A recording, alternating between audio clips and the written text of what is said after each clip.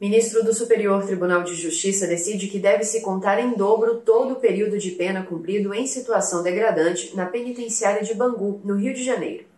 Com base em determinação da Corte Interamericana de Direitos Humanos, o ministro do STJ, Reinaldo Soares da Fonseca, concedeu habeas corpus para que seja contado em dobro todo o período em que um homem esteve preso no complexo penitenciário de Bangu, localizado na zona oeste do Rio de Janeiro. Depois de denúncia feita pela Defensoria Pública do Rio sobre a situação degradante e desumana dos presos, a unidade prisional foi objeto de diversas inspeções realizadas pela Corte Interamericana de Direitos Humanos.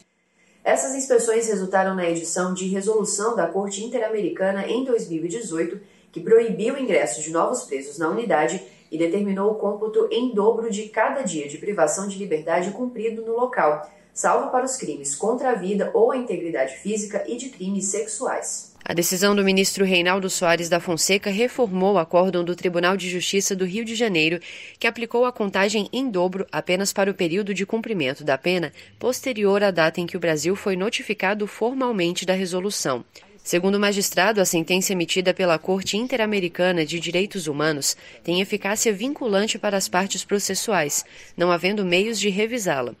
O ministro ponderou que, ao aplicar a resolução apenas a partir da notificação oficial feita ao Brasil, as instâncias anteriores deixaram de cumpri-la, pois as más condições do presídio que motivaram a determinação da CIDH já existiam antes da publicação.